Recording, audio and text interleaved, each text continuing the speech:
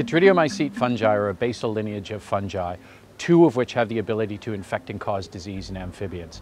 Now these fungi have been associated with amphibian mass mortality events and population declines at a global scale, and in some cases may have actually led to species extinctions. ZSL researchers were involved right at the beginning of the Chytridiomycete amphibian story. So the original species was identified by a consortium of, of, scientists, including one based here at ZSL.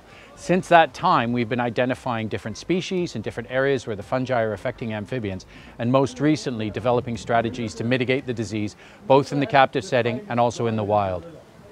In this paper, we described the culmination of about nine years of research where we developed an antifungal treatment that could be applied to animals in captivity in, and in the wild, and also the use of a chemical disinfectant to eliminate the fungus from the environmental setting. Using these two treatments in combination, we've actually managed to clear infection from one drainage on the island of Majorca and are this close to actually eliminating the fungal infection from the entire island. This is one of the tools in the toolbox. We need to use a variety of tools to fight these infections in the wild and indeed other amphibian diseases that are causing amphibian decline.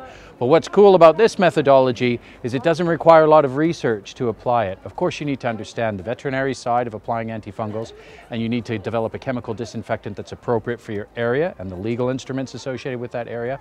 But the, the idea of applying a chemical disinfectant and a veterinary treatment in situ in the wild is something that just about any organization could potentially do. As far as I know, this is the first time anybody's actually been able to eliminate this infection from wild populations.